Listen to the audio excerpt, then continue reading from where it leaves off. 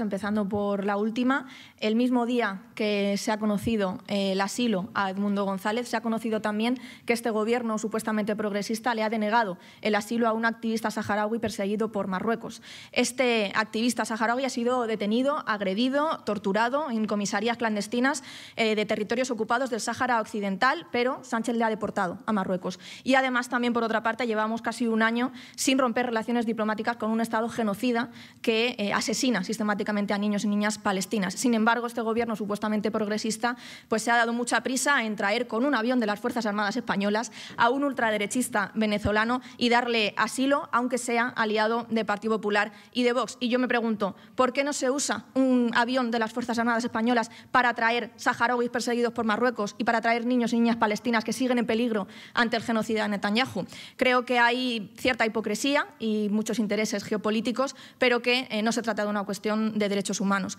Y respecto a la primera pregunta que, me hacía, nosotros eh, esperamos sinceramente, que el Gobierno traiga unos presupuestos generales y que sean lo más ambiciosos posible, porque la ciudadanía española no puede seguir esperando que este Gobierno adopte una posición de acción política valiente. La ciudadanía necesita medidas concretas que eh, palien los efectos de la emergencia habitacional. En primer lugar, nos parece una prioridad absoluta la cuestión de la vivienda. En ese sentido, hemos trasladado diferentes propuestas que el Gobierno del PSOE y de Sumar han ignorado